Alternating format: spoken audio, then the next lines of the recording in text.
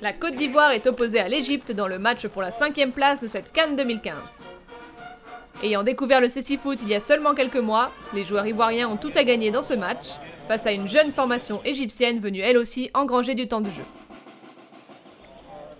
L'Égypte débute avec Abbas, El Sharbaghi, Badawi, El Daïdamoni et Ahmed.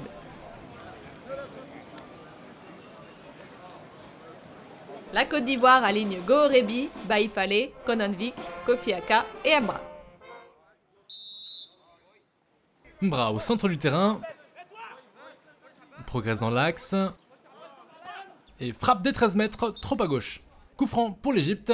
Sheriff Badawi tire, détourné par Gohorbi. Mbra pour ce coup franc, barrière droite.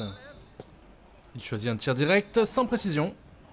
Badawi au point de corner gauche, se bat pour avancer, il frappe bien au-dessus de la transversale. Le 10 ivoirien, barrière gauche. Il prend son temps et rate le cadre. Penalty pour l'Egypte.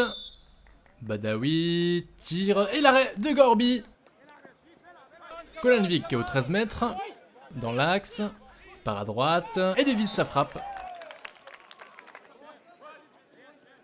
Kolenvik récupère la balle dans le rond central. Il temporise, laisse les défenseurs égyptiens s'approcher. Il accélère dans l'axe, prend ses marques, frappe et le but Premier but de l'histoire de la sélection ivoirienne de CC Foot.